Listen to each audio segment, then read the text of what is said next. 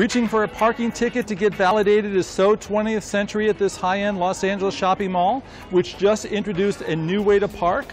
Download an app, register, and the mall's cameras recognize your car, billing you directly and thus eliminating the need to find your parking ticket or wait online to leave. Well, you want to be able to remove any friction point. So customers would have to stop at a gate, stop at a, pull a ticket, stop at a parking machine and pay.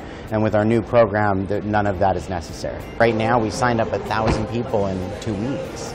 And that's just with a quick launch. So it's, it's super exciting. I, and the possibilities are endless. The new app-based parking system is the latest attempt by the struggling shopping mall industry to digitize their business and get folks back into the stores.